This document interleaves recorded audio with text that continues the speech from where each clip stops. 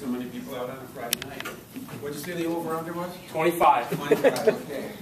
We're 24 20, okay, need one more then. And I, I appreciate you uh, spending a Friday evening like this with me. Can you hear me? Okay. Let me take a couple minutes to introduce myself to you. While I'm doing that, really I'm just doing it to fill time for you because I have a question for you. Actually, three questions. I want you to think about these three questions while I'm introducing myself. The first one is, what is your name? Find it easier to talk to people if I know the name. The second is, what drew you, sorry, the, the second is, um, how many kids do you have in the school, or you know, something along that line? What is your connection to the school? And the third is, what drew you to Eagle Ridge Academy? What drew you to Eagle Ridge Academy? So think about those three questions.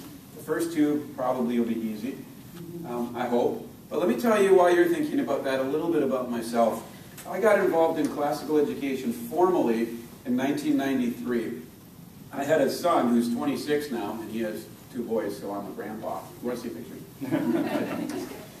and um, when, when my firstborn was about four or five years old, my wife and I were wrestling about how we're going to teach this guy. How are we going to bring him up to be the most perfect human specimen that ever lived? And uh, we found out that it was too late, and after all, I was the dad, so forget it. But we did, we did think real hard about what kind of education do we want to provide for him. And one of the things we came across was a book that some of you may have heard about. Have, have any of you heard of a book called Recovering the Lost Tools of Learning? Recovering the Lost Tools? Have you ever heard of an essay called The Lost Tools of Learning? Th- This Lost Tools of Learning concept was really important in the 90s. It started a whole wave of classical schools, especially in the private school network. Uh, well, I guess it's not formally a network, but especially among private schools. Hundreds of private schools um, came into to being because of this notion of the, the re- of recovering the lost tools of learning. The term tools of learning is one I've been thinking about constantly now for 20 years. Dorothy Sayers, who was one of uh, C.S. Lewis and J.R. Tolkien's friends, they used to sit around at the, the Eagle and Child and read their books to each other and argue and stuff. She was the first woman ever to get a PhD from Oxford. And she's the one who wrote um, Recovering, or she wrote the essay called The Lost Tools of Learning. And in it, she argued that, and this is in the 1940s when she wrote this essay. In it, she argued that something had happened to education in the previous 40 or 50 or 60 years. And that was that the tools of learning that had been taught students in schools from the ancient world had just been abandoned. That, that suddenly we, we weren't teaching kids how to think anymore. And she said, whatever, whatever else is true, if we're not teaching children how to think, we're not educating them. If a child can graduate from 12th grade in England, you know, from a, from uh, what did they call it over there, A, a levels or whatever, if a, if a child can go through all of this and still not think for himself, still not think for herself, then he's not educated. She's not educated. And so she, she wrote this essay in response to that. And here's her premise there are tools of learning. Anybody can learn them. In fact, for 2,500 years, that's what it meant to be educated, was to learn these tools of learning. And now, for some reason, we've stopped. Well, we haven't taught them a whole lot more since Dorothy Sayers wrote in the 40s. In fact, I would argue we've taught them less since she wrote that essay in the 40s. But in the 80s, a gentleman named Douglas Wilson had the same question I had. How am I going to educate my kid? He had a daughter named Rebecca. She was five years old. He and his wife were talking, what are we going to do? And they read the Dorothy Sayers essay, in which she said, Now I know I'm not an educational expert, so nobody's going to do anything with this. And Doug Wilson said, I agree with everything in this essay except that. I'm going to start a school. And that school was opened in 1981, the same year that one of the most important books on education was written. It's called Norms and Nobility. I'll throw that out for your consideration. If you want to read a really, really hard book, but the best book on education written since the 1940s, get Norms and Nobility by David Hicks, 1981. Um, and the other really important educational thing that happened that year was I graduated from high school, which probably shouldn't have happened. But anyway, so, so, so Dorothy Sayers writes this essay. Douglas Wilson starts a school. And 12 years later, 10 years later, that school had grown, it was in Moscow, Idaho, of all places. That school had grown and, and had been, people were coming from all over the country to put their kids in the school. And so a publishing company asked him to write a book about it. And he wrote the book, Recovering the Lost Tools of Learning, which had the essay, The Lost Tools of Learning, as an appendix. That's what I read in 1993. A lot of people, I found out since then, had the same experience that I did. They got to the end of the book and they said, I have to start a school. In my case, it was kind of a funny idea. I was 29 years old, didn't have a college degree, and started a school. Imagine getting away with that now. but my board, the board of the school that I helped start, it was in Green Bay, Wisconsin. It's called Providence Academy.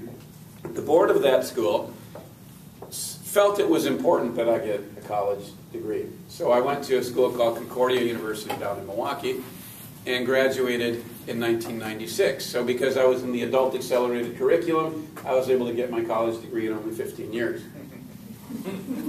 but we did have a school. And that school, I'm pleased to say, 20 years later is still going. It hasn't grown like gangbusters. It hasn't become a multi-hundred student school. Uh, there's about 115, 120 kids, I think, in that school now, but they're still going, and hopefully they're, they're, keeping, they're keeping the classical vision. The thing I want to emphasize in all this, though, is how important it was to me. Because I, I, I, was, I guess you call it selfish when you do something for your own children. I don't know why that would be considered selfish. But anyway, I was thinking about my children, and I wanted my children to get the get best education they could possibly get. And this concept of tools of learning this sang to me. This, this leapt off the page to me. There are tools. There are actually tools. And if you master those tools, you can think well. You can learn new things. And for 20 years now, I've been studying what are those tools? Where did they come from?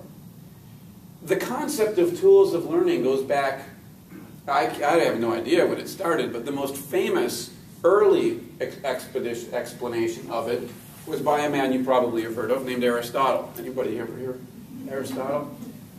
Uh, the master of those who know is what Dante called him. Nobody has taught the human race how to think more than Aristotle. Nobody has had more of an impact on the way we live today in terms of practical daily life than Aristotle. Science, as we know it today, is a direct result of Aristotle's inquiries. He, his dad was a doctor. So he studied everything as though it was biology. He studied everything by, you know, you collect samples and you compare them with each other and you learn. He studied constitutions that way. He collected constitutions. You probably know he sent Alexander the Great. Well, he sent Alexander the Great. He told Alexander the Great, he trained him when he was a kid, at least for a couple of years. Sorry, let me clarify my pronouns. Aristotle trained Alexander the Great, taught him when he was a child. When Alexander the Great went out on his expedition to conquer the world, Aristotle asked him to send samples back. And so he built up this huge biological collection of, of fauna and, and ferns and animals and everything from all over the world. Nobody had ever done anything like this before that. Nobody had ever had the chance to do it before that.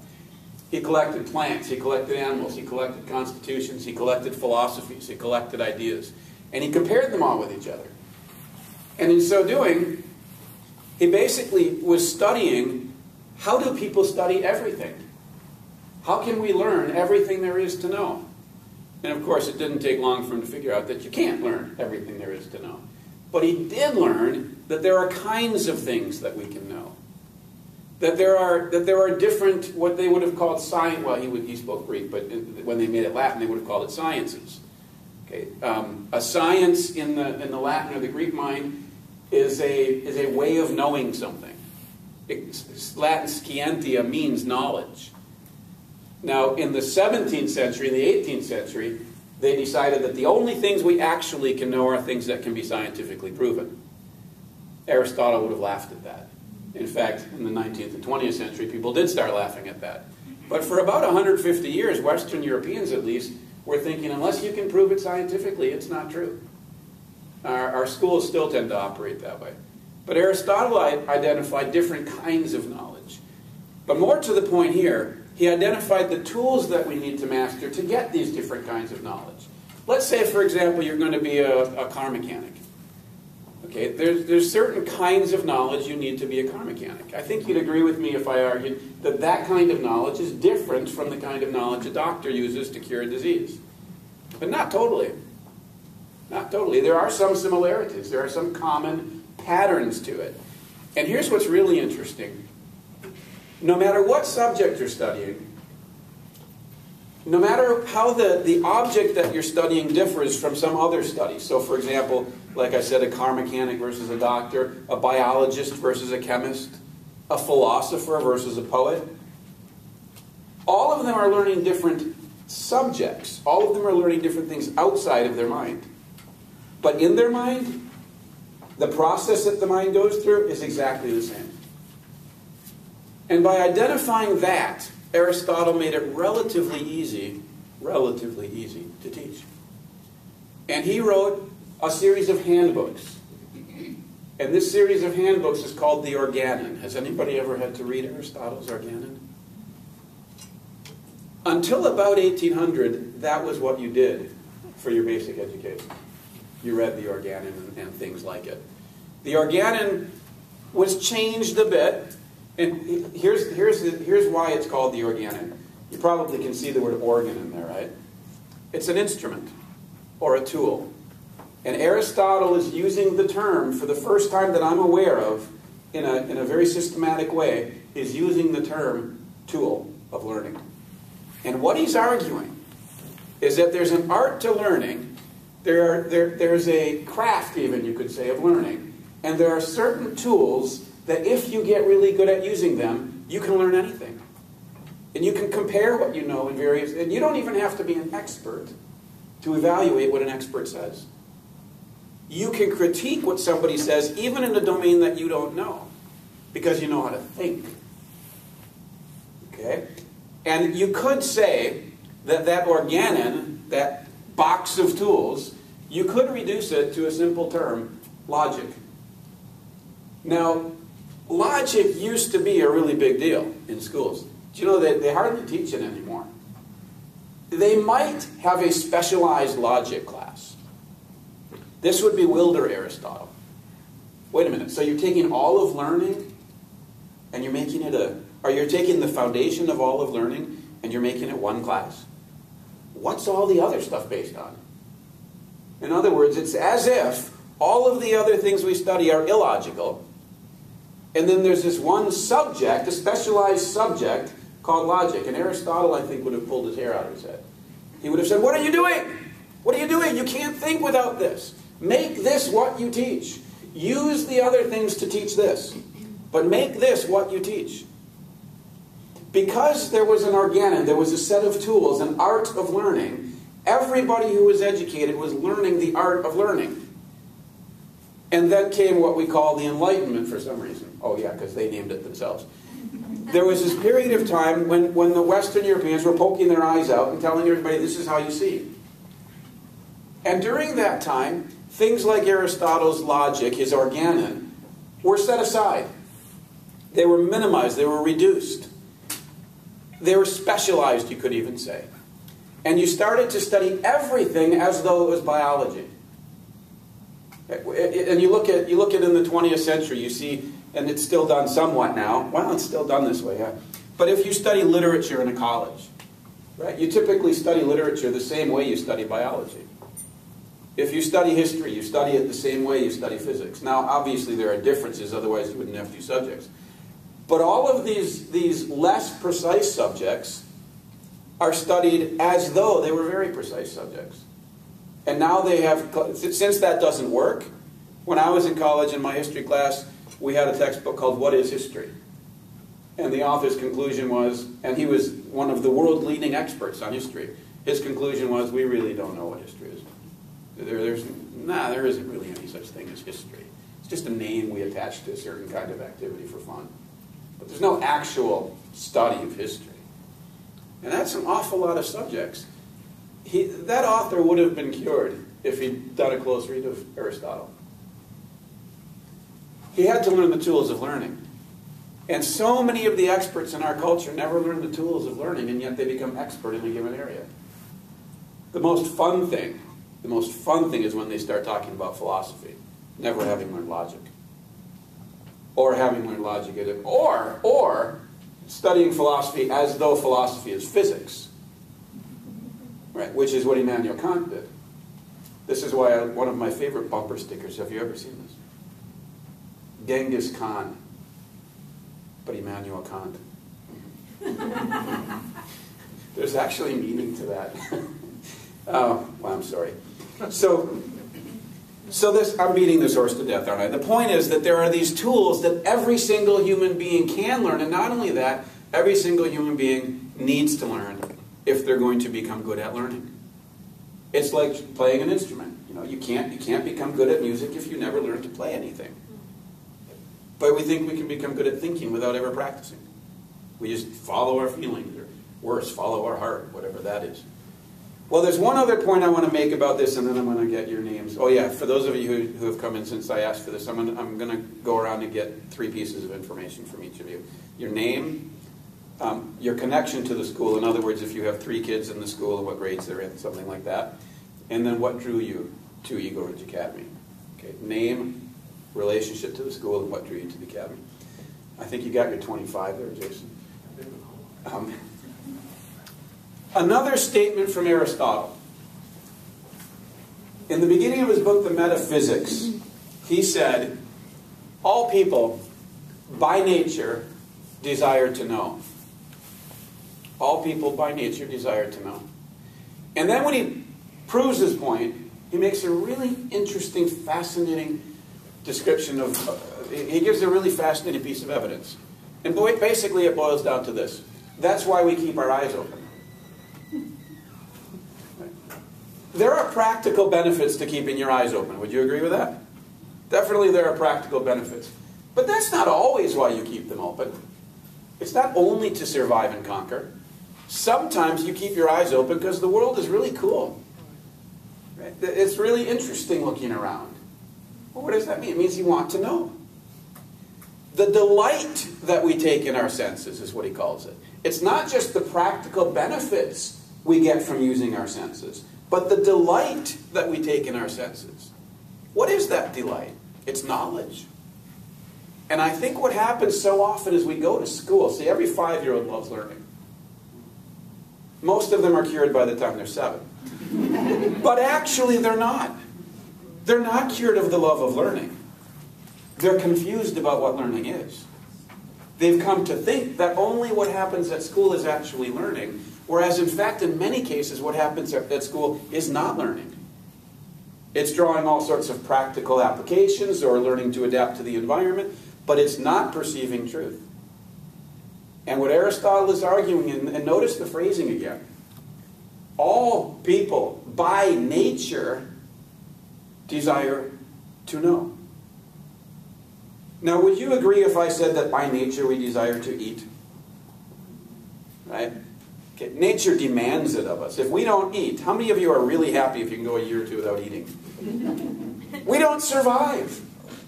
Right? Because it's by nature, there's no escaping it. Aristotle is saying the same thing is true of knowing. If we don't come to know, we become very, very unhappy.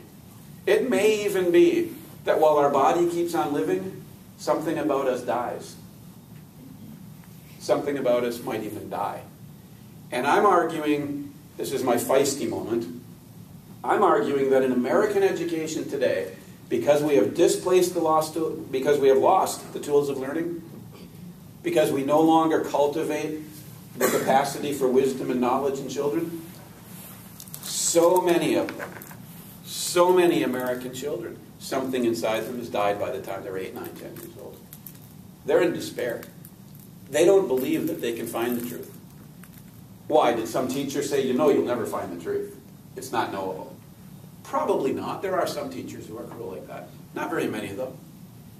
But the way we teach them, they become convinced that there is no knowable truth. For example, we take the, we take the curriculum and we make it totally fragmented.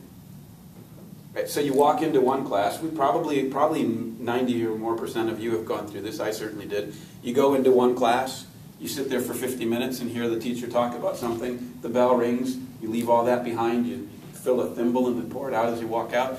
Then you walk into the next class five minutes later, somewhere down the hall, somewhere else, and pick your books up off the floor when somebody knocks them on your hands. You get to the next class, and you sit there for 50 minutes, and what you learn in that second class has nothing whatsoever to do with what you learned in the first class. Then you go on to a third class, no connection. Middle school and high school, you got seven or eight hours of classes, and there's, you, you are never told that there's a connection. You are never shown a connection between them. Because every class is a class. It's a thing considered in itself, and what's your goal? Pass the test. It's, it's not to gain knowledge and assemble. Think of it this way: it's to it's it's not to assemble the puzzle of learning. That is life. That is what the mind so wants to see. And so what happens is by the time you're in eighth or ninth grade, you've come to the conclusion that there is no relation between these subjects. That's despair. Do you know how unhappy the mind is to discover that? Now, I can't prove this, and so this is going to sound sort of melodramatic, but I really believe that the reason there's a that one out of every 12 teenagers tries to commit suicide, and an awfully high percentage of kids is, is cutting cutting themselves and doing all sorts of cruel things to themselves, is because they're in despair. And if it's by nature that we want to know, and we're not letting our kids know, in fact, we're putting up barriers between them and knowledge, then we're defying their very nature. And if your nature is unsatisfied, you cannot be happy. Does that make sense to you? You cannot be happy if you can't have what you want more by nature. In other words, we can want what we want because we're conditioned or whatever, but there are certain things that you can't not, not you can't not want. And according to Aristotle, knowledge is one of them. And so if you go through life never gaining knowledge, you can't be happy. Now, some of you are going, that's absurd. We don't all want knowledge. Some people are practical. Yeah, I agree. And not everybody wants the same kind of knowledge. But there's a kind of knowledge that everybody wants. There, I mean, let me rephrase that so I say it more correctly. Everybody wants some kind of knowledge. Everybody wants to know some things. And yes, it is personality affects it, our, our dispositions and experiences affect it, but all of us want knowledge in some area. Sometimes it's because it does have practical benefits. But ultimately, all of us want some kind of knowledge. I mean, you, you meet these kids that, that in school, they, they just come across like they're complete morons, and then get them talking about basketball, get them talking about football, get them talking about cars. They're geniuses. But you never find that out in school. Whose fault is that? The, the mind is so hungry, and then we starve it and the, and the soul becomes famished. But if what Aristotle said is true, that all men by nature desire to know, then one of our most important functions as parents and as teachers is to equip them to satisfy that desire. I, I, quoted something to the teachers today, so if you were there for this this afternoon, forgive me. But one of my absolute favorite lines in all of poetry is in Dante's Paradiso. And he says this much worse than uselessly, he leaves the shore. More full of error than he was before, who fishes for the truth, but lacks the art. I'm going to say that again, but I want to give you some context for it. Dante, when he wrote that poem, was in exile. He lived in Florence, but he'd been exiled by the Florentines because of some political mess he'd got involved in. And about he was exiled for 35 years. That's why if you go to Florence today, you can find the Dante's tomb. It's, it's the American joke, right? Who's buried in Grant's tomb? Anybody know? Does anybody know who's buried in tomb? It's Grant. But if you go to Italy and you say who's buried in Dante's tomb, nobody. Because the Ravenna, the city of Ravenna, they've got his body, and 700 years later, they still won't give it back because they're saying to the Florentines, while he was alive, he didn't want him. What are you doing now? So Dante is in exile, and he's in the city of Ravenna, which is a port city. And I always imagine this when I think of those lines. Dante is a poet, so he sits around doing nothing, right? That's what, that's what poets do.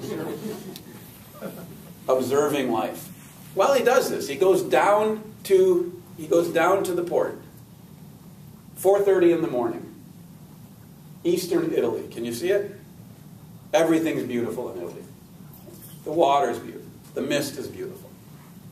The beat up, rugged fishing boats. They're all beautiful. And, and, there's, and he's sitting there, I don't know, on a, on, a, on a cliff maybe or whatever, but he's looking over the port, and all these, ki- all these fishermen come down to the port and they get in their boats. They get their tackle ready, they get ready to go fishing, and they spend probably a couple hours, I'm going to guess, getting everything ready to go out.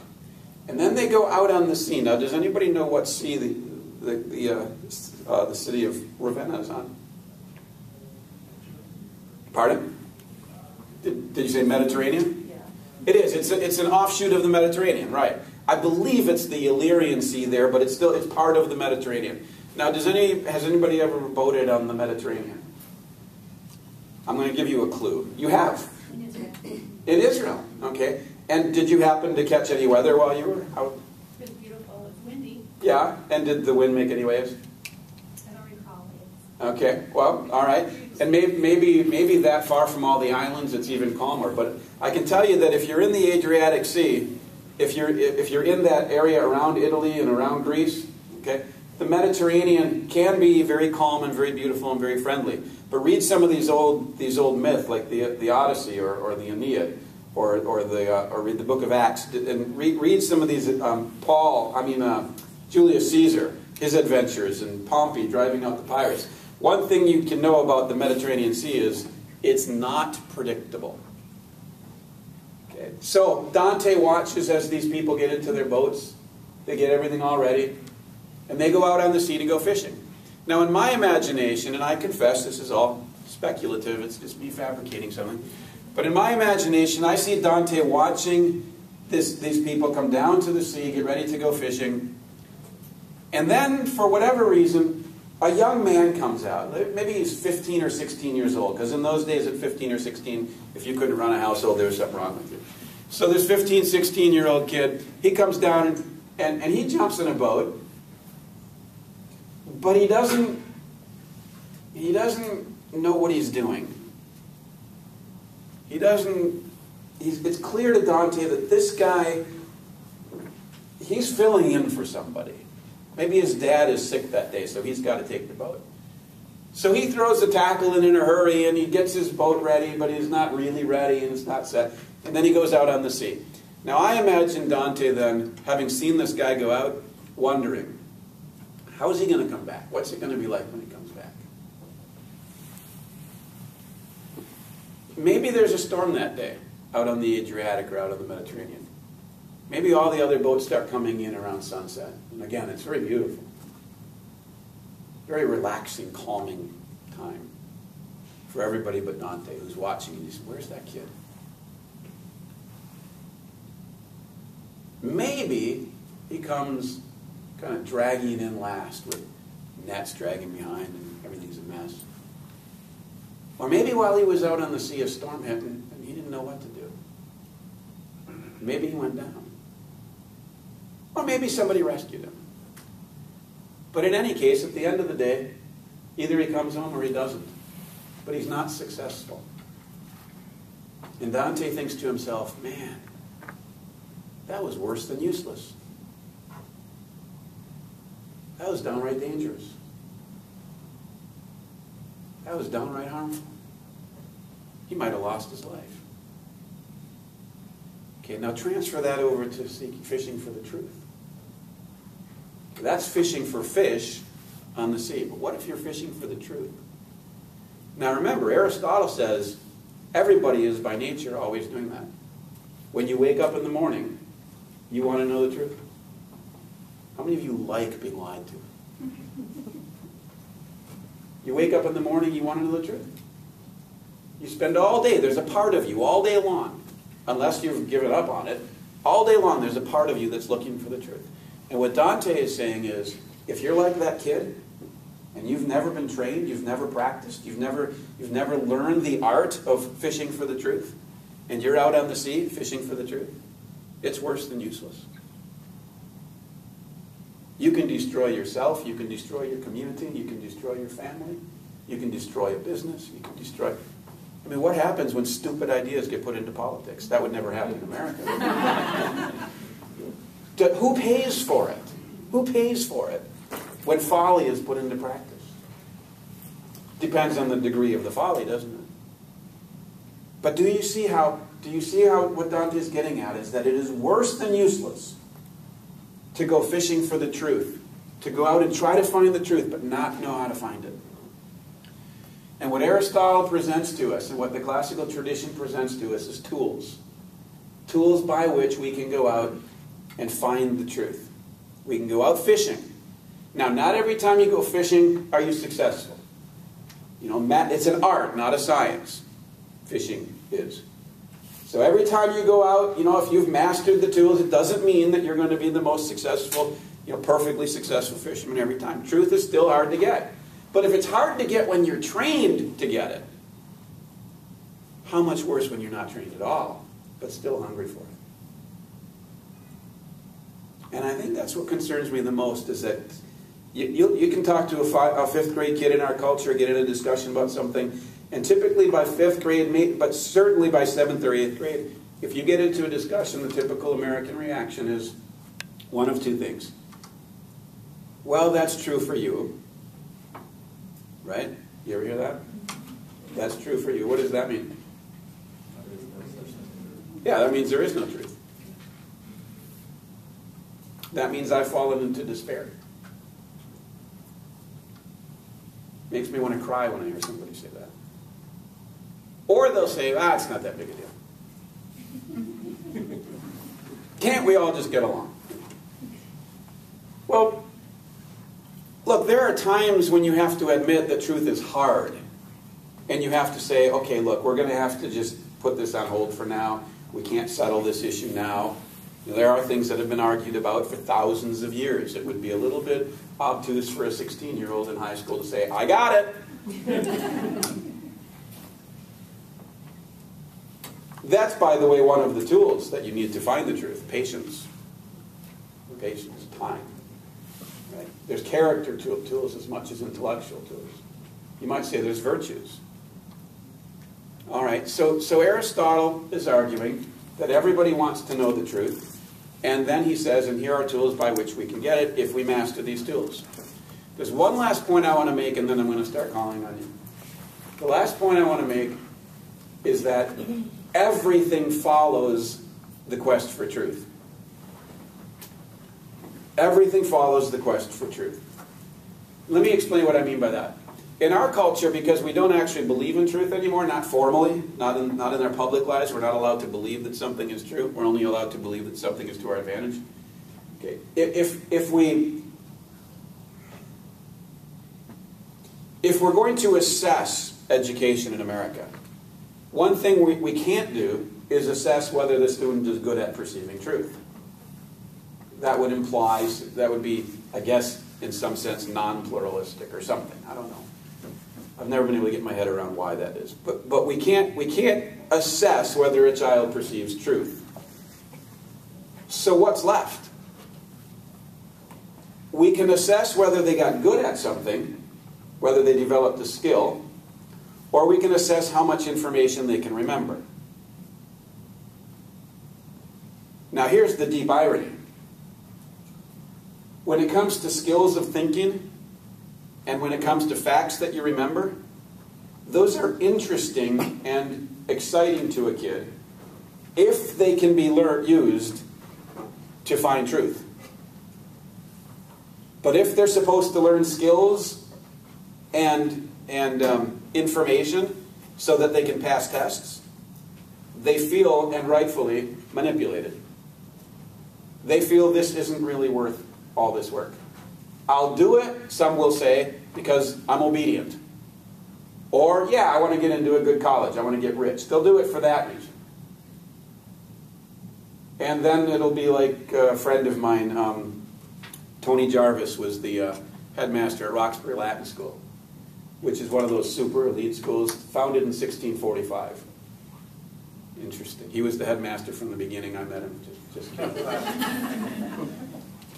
Tony Jarvis was, um, was the headmaster at Roxbury Latin. One day on a Saturday night, it's about 11 o'clock, he gets off the, um, the, the train in Boston. What is that called? Anybody know what that train's called in Boston?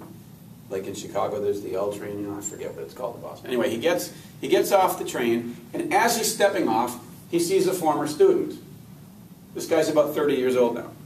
He says hello, and they have this conversation. All he says to the guy is, How are you doing? And the guy kind of drops his eyes and he says, You know, Tony, I'm not really sure how to answer that question. Tony says, Why? What's, what's going on? He says, Well, you know, I went to Roxbury Latin and I graduated first in my class. When I got out of Roxbury Latin, I went to Harvard. Graduated first in my class. Then I went to Harvard Law. Graduated, I think he said second in my class. First or second in my class. That's pretty good at Harvard Law. Second, passable. Oliver Barrett only came third. That was a 1969 reference, forgive me. I graduated second in my, in, in, my class at law school. Now I'm working at the top law firm in Boston, working about 80 hours a week, 90 hours a week, prospering, doing well. You know what, Tony? I have no idea why I'm doing this. Can you imagine pouring yourself out like that? Like a libation on the ground? From the time you're a kid till the time you're 30? And then having to look yourself in the mirror and say, why are you doing this? Isn't that one of the first questions we should help a kid answer? Why am I? See, if we put truth first, everything follows and everything gets put in the right place. But if we put great scores on a test first, we might well be sacrificing the truth. If we put riches first, we might well be sacrificing our own souls, our minds, our well being, our own happiness. And we might wake up 30 years old, 40 years old, sometimes 70 years old, having consumed our lives we might look in the mirror then and say, I have no idea why I did this. I think we owe it to our kids to help them understand why. And I think the test scores will take care of themselves then. If we put truth first, everything follows. Now, if you're hearing, whenever, whenever I hear the word truth, if you're hearing big mystical concepts, you know, religious stuff or philosophical stuff, there is that. Okay? But basically, if you learn the distributive property in math, that's a truth. Okay, 3 plus 2 is 5. That's the truth. Okay? It's the truth. Any truth. Any truth gives you access to more truth. Any truth helps you to think clearly. Any truth orders your mind. How many of you like having a chaotic, confused mind? When you, when you have these moments of clarity, do you just try really hard to get out of them? back into confusion. Do you see? Do you see? That's that's that's funny because that's what Aristotle's talking about. Of course, we don't like confusion. Why? Because by nature we desire to know. Do you see? By nature, we want to know the truth. We don't like confusion. Last illustration I'll use. How many of you have ever wept over any class in school? Raise your hand if you ever wept over, over a class in school. Okay, I'm going to I'm gonna mm-hmm. tell you what class it was that you wept over. It was math. Right? I wept one time in school. This is the most embarrassing thing in the world. I was in 12th grade. I wept over trigonometry class because I couldn't do it. I hadn't done Algebra 2. When my math teacher said to me, Andrew, what are you doing in this class? I was so ashamed that in the library I wept. Very embarrassing moment. Low point in my life. Now there are other classes people can weep over. You know, it might be it might be from reading Jane Eyre or something. But generally speaking, the class, this amazes me, the class that people exert and spend the most energy on, the most emotional energy, the most stressful class is math. And I've been thinking, why is that? These kids say they don't want to learn math anyway. They say they don't care. Why are they crying? you know why? Because we hate not knowing. And when you're in literature class, You can fudge it, right? You can pretend you gained an insight here. You can even grab something and write flourishing paragraphs, pages on end, and pretend that you saw something. But in math, if you don't see the distributive property, you don't see it and you can't deny it. And it puts your ignorance right in front of you, and we hate, hate not knowing. By nature, we want to know. Now, here's the point and the good news in all this. We have a 2,500 year tradition in which the tools of learning have been refined and perfected to an incredible degree. And if we have the courage to order our, our teaching and our instruction toward knowing the truth, towards seeing truth, and I'll add the good and the beautiful, towards seeing the true, the good, and the beautiful, which is what our souls feed on. If we have the courage to order our instruction toward the true, the good, and the beautiful, we have the tools already developed for us by this tradition. And they work. And you can see very rapidly changes in kids' attitudes. I mean, one of the most bizarre things I've seen, I've seen marriages saved by, by this. I kid you not. There was a kid in my class when I taught third and fourth grade. There was a kid in my class who got excited about astronomy. I mean, I love astronomy, but my goodness, you know what I was using to teach astronomy? These were the days of the overhead projector. Had an overhead projector with a slide on it of the constellations. You know, little squares and stuff showing this is, and I would, and I would, I had them memorize in a cyclical pattern all the constellations. Well, one of these kids was a Girl Scout. And a couple months later, she's out on a Girl Scout trip, and she, she goes out in the middle of the night, and, and this is in Idaho where you can still see the sky. And she, she takes, she's out with her friends, and she starts pointing out all these constellations. Well, the kids were in awe. They were young enough that they still were impressed, right?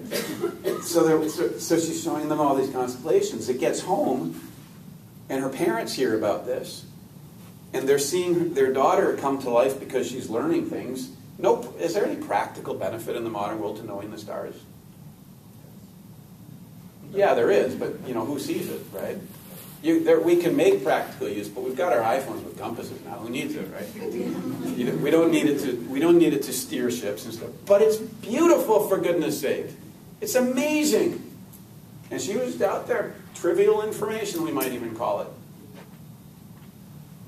Got home to the parents that she was showing the other kids all the constellations. And they said, There's something going on at that school. And they told me later on that in their marriage they were struggling. And because of what was going on at that school, and because their daughter was showing constellations, their marriage, they, they resolved to rebuild their marriage. That to me is amazing. Just weird things happen when, when truths are discovered. Weird things happen. That might sound way off the, the margin, but that's kind of my point, is really weird things happen. All right, so that's that's my five minute introduction. you all are doing really well. we might end up going till ten. No, I'm just, we won't do that. I have to fly home too early in the morning. I'm going to be selfish about it. But um, I'd like to hear from you, and because there's there's a decent number of you. Again, Jason, you're past 25, so you win. Um, I'd like to hear from you, and this is what I want to know from you. Is and, and in about 10 minutes we'll take a break. But tell me what your name is Tell me about your relation to the school and tell me what drew you to Eagle Ridge Academy. I'm going to give you 15 seconds max, otherwise it'll take the whole night. So be as concise as you possibly can. Can we start with you? Sure, and I can speak for both of us. Okay. Matt and Stacy Steen. Um, we have a daughter in ninth grade, just started here, Brielle Steen, and uh, we just wanted a school with a challenge. She did too. Challenge. All right. Good. Thank you. Matt and Stacy. Yes. Thanks. Uh, Kelly and Martha Duclas, uh, daughter in third grade, and I'd say it was class size. Oh, okay. From Class where, size. where we live, the alternatives are, you know, massive, Massive. schools. And my Well- massive grades too. I got to tell you, I sat in a, a class with 32 kids back in the corner banging my head on the wall for fun when I was in eighth grade. I don't know what the big deal was about class size. I could hide really well. Kelly and Martha. All right, thank you. And back to you. Sajid, uh, my daughter is in second grade, Great. and basically Just uh, one is that's the school has uniform here, Okay. and the second is the discipline. The discipline. Excellent. How do you say your name? Sanjay? Sajid Nambiar. Was I anywhere close? Yes. you are Okay. Thank you. Thank you. All right, over to you. Uh, I'm Ridiman, her name is Sayoni, and my son is in uh, kindergarten, he just joined this year. Wow. So the reason we wanted to come to the school was more because of the classical education, because I grew up with that background, so I wanted him to be also uh, Right. growing up with that background as well. Plus the discipline is much better than any public school. Right. All right. Your first name? Uh, Ridiman, it's a little complicated, Ridiman. Okay. All right. We'll go back. Is it Ru- Rudeman? Close. Close. Okay. Thank you. Very forgiving. I appreciate that. Your turn. Um, My name's Steve Hunt. I have a second grade boy. Um, I met someone at a park and she said, uh, you're getting a private school education for free, basically. Wow. And we came and visited and that's, but, but really, I, I really believe in the, the liberal arts and, um, I'm an educator myself, so, Mhm. yeah. Good. Liberal arts is actually the, the term that was developed in the Middle Ages to describe Aristotle's Organon, the tools of learning. The trouble is, in the modern college, they use liberal arts for something altogether different. Thank you, Steve. And you're next. I am, okay. All the husbands have spoken. Um, Stephanie and Jay Jallow. Uh, our son is our third child, the youngest. We, we moved him here. We wanted a change from the public school and challenge and little Challenge. sizes. I am an educator as well, so. Uh, he's an eighth grader. eighth All grade. right. Good. So you educators, how much have I offended you so far? Uh, Okay, I just you're- was in a training all day, so it was kind of cool listening to you. I'm not sure how to take that, but I'll take it as positive. Thank you. All right, behind in the in the Hi, I'm Pallavi and this is my husband Anu. I have two kids here and um, I love the school because of the traditional teaching and Right. since I was brought up that way. So I love the uniform and the way they. All right, good. The traditional teaching and the uniform. Good. Thank you. And over to the end. I'm Snehashish, my son is in third grade. Third We grade. just moved uh, this year in this school, so we like the traditional uh, education and also the discipline and challenging. All right, good. We'll keep the pressure on. Make it keep make them keep it challenging. All right, good. Dan, did you want to comment? Uh, My is Dan Tripp. Well, I'm a teacher here, and what drew me here was about 10 years of pursuing understanding what classical education was. I used to teach somewhere else, so this is my 21st year in teaching, and three of them have been here, and they've been very good. Good.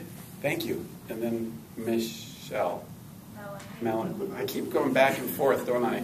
Sorry. I'm Melanie Bear, I'm the lower school principal, and what drew me here, it was a long journey, but you say as a private school, I was a private school teacher for a long time and figured that what I was doing in my classroom, because I had autonomy there, was actually classical, so I started looking at classical schools, which Mhm. that therefore drew me to Eagle. All right, good. We'll come over here. Uh, we're David and Nina Harbath. We have four boys, 12th grade, 9th grade, 5th, and 1st. And um, we don't have anybody at Eagle Ridge. We're just looking at different options. Have I talked you out of Eagle Ridge? All right, thank you. And over here. My name is Sarah, and I have three kids, ninth grade, sixth grade, and second grade. And uh, I like the challenge, the uniform, the school, Challenge. everything. All right, everything. Good. I'm from Con- and, Alberta College. When you say Concordia and Milwaukee. Oh, yeah, yeah. it's. Yeah. All right. Nice to meet you. Let's go over here. I'm Gary Eatley. Um, I have one daughter who's here and she's in ninth grade. And for us, it was the curriculum. We've always been um, cooked up with core knowledge and Saxon Mhm. math and Mhm. that kind of curriculum. All right, so it blended well. Yes, Good. Gary. Gary. And then to your right. Yeah, I'm Bethany. Um, I graduated two years ago from here, and um, I basically came here in sixth grade to avoid public schools. Did it work? Yes, it did. All right. Thank you.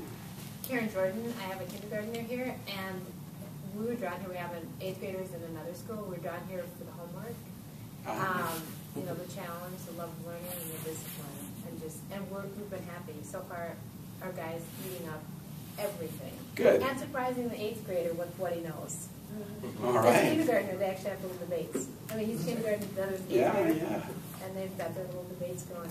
Wait a minute, kindergartners can debate? Oh, yeah, that's one can. Yeah. All right, good, thank you. Let's go to the back, Dan. Yeah, I'm Dan Walker, I teach fifth grade here, and wrong somewhat the same time this guy was the other day. And my thing is, I think I'm a natural classical teacher, and I kind of have a love for learning, and when I'm part of that, the kids. All right. Good, yes. I'm Kirsten Walker, I teach elementary Latin. Um, I started here probably initially with Bill. But I too, I mean, the classical education is just as naturally who I am and how I teach, and so it's been fun to do that. And I love that they teach the whole child, not just the mind, but the heart and the spirit, and, you know, the personal, the pillars are just huge. All right, good, thank you. Let's come here. Uh, I'm Arun Singh, and I have a son who is in kindergarten. We basically did a survey among many parents and found out this is probably the best school for him. Good. So that's how we chose this school. Good. And, and that's the first, your first job in kindergarten? Yeah, yeah. Good, good. Maybe a year from now I'll hear more. All right, good, thank you. And April? Um, April Grabansky. I have a first grader and a second grader here, and I teach fifth grade um, here, and I'm also on the board. And the Wow, reason, so you've got yeah, I'm three everywhere. arms. I'm always here.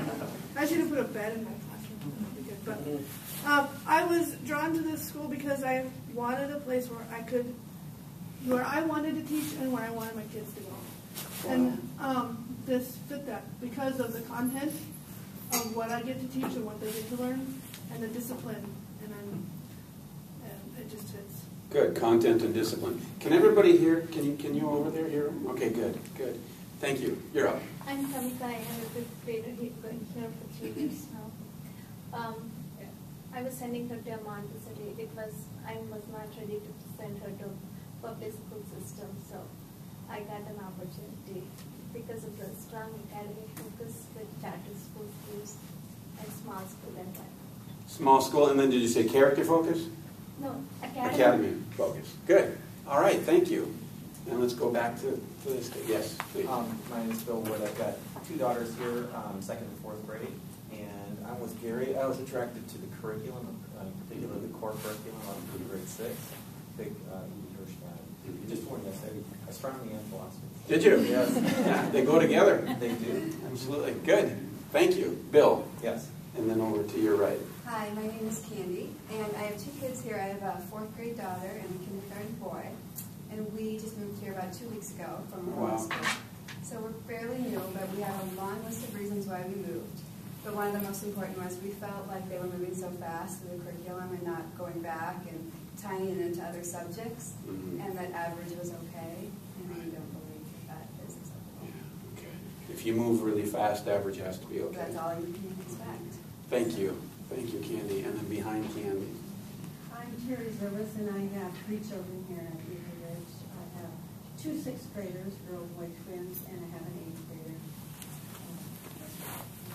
Okay, good. I didn't, I'm sorry, I'm late. Uh, I was late, so I didn't hear what. Oh, what drew you to Eagle Ridge? I'm a parent. Okay. And why did you put your kids here?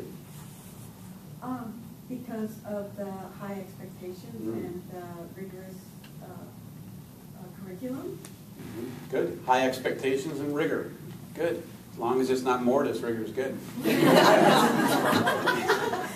up. Um, Melissa Hanson. I have a third grade daughter and a or a first grade son. And um, we are here because my husband went to Trinity in um, Wilmington, maybe. And I think this was modeled after that. Oh, is that I was told that. so Okay. That's why we're here. How long have you had your kids here? Um, since they opened, or since the lower school opened. Wow, great. Great. Thank you. You're up. I'm Kristen. I have a 11th grader, 7th grader, and 4th grader. And we um, lived overseas for a while. We needed a school when we came back because we came back almost July. And so we looked into it before we left. And we knew some teachers here and we really enjoyed teaching here. And we knew some parents and they spoke highly of the school. So we chose it. Good. Teachers who like teaching, that's always encouraging. Good, thank you. And you're up. I'm Tia, and I have a kindergartner here, and uh, we were former homeschoolers with my now 10th grader who came here in 7th. We left, and I wish he'd come back. Um, but yeah, I, I first found out by Carol Joy Seid about the importance of Latin. Uh-huh. So Yes. All right, good. Thank you. And let's go to the back. I'm Lucy. I have three kids here, a tenth grader, a seventh grader, and a third grader. Um, we homeschooled, think about three years ago. I really like the Charlotte Mason philosophy of Mhm. homeschooling. Um, and this is pretty close.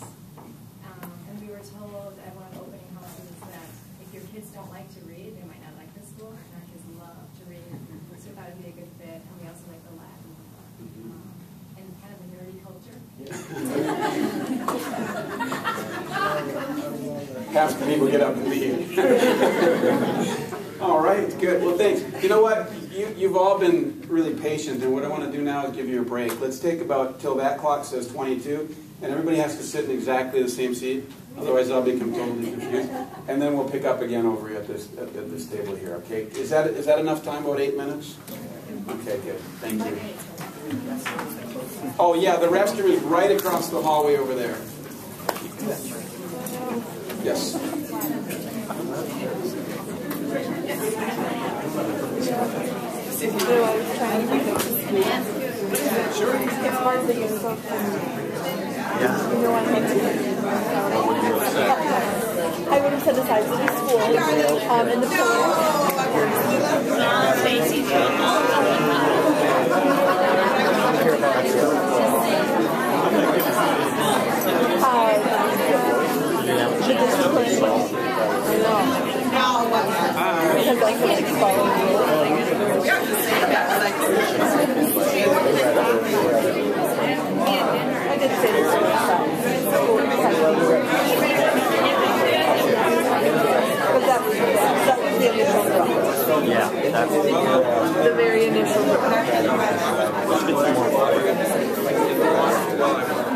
a picture?